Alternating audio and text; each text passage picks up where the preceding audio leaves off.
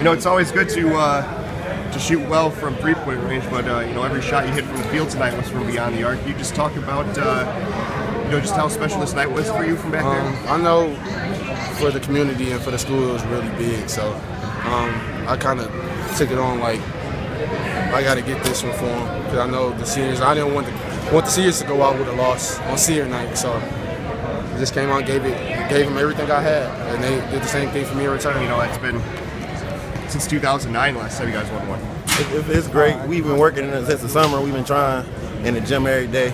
Coach Young, he he keep us in the gym every day. We, we go give it all to him.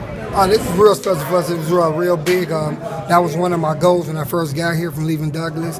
Uh, about winning, telling the guys about winning the division champs because we had won one in uh, Douglas, and I wanted the guys the experience. But we worked hard uh, since the summertime. Guys put in work. Uh, tonight, I thought the first time we should have beat them. Uh, that's a, hell of a team over there. But I thought the first time we should have beat them. We lost by four. We was up by six in the fourth quarter, and then we got a little selfish. But tonight, I felt we was more tuned in uh, the game plan to win the game.